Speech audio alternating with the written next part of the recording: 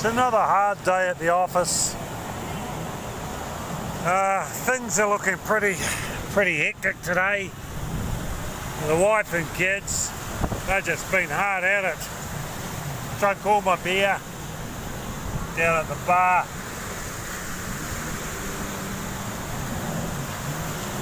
But anyway, we'll soldier on and we'll do it for the, take one for the team.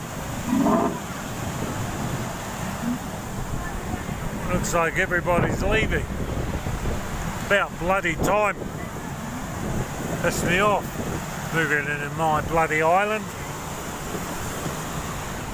I'd like to stop and talk, but uh, it's not night time for me. So good night from me.